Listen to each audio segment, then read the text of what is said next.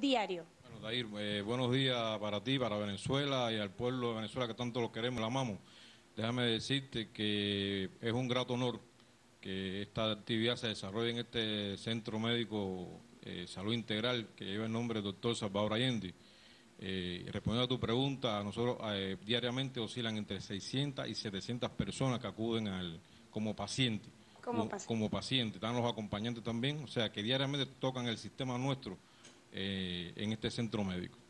Debo decirte que su fundación hasta la actualidad han recibido atenciones médicas alrededor de 524.173 personas en, en, nuestro centro médico. Y como decía la ministra, esto es un centro de salud integral en el cual hay un, un CDI quirúrgico. Hemos realizado 7.280 intervenciones quirúrgicas. Ah, desde su creación hasta. Sí, sí, en los cinco años, cinco meses exactamente.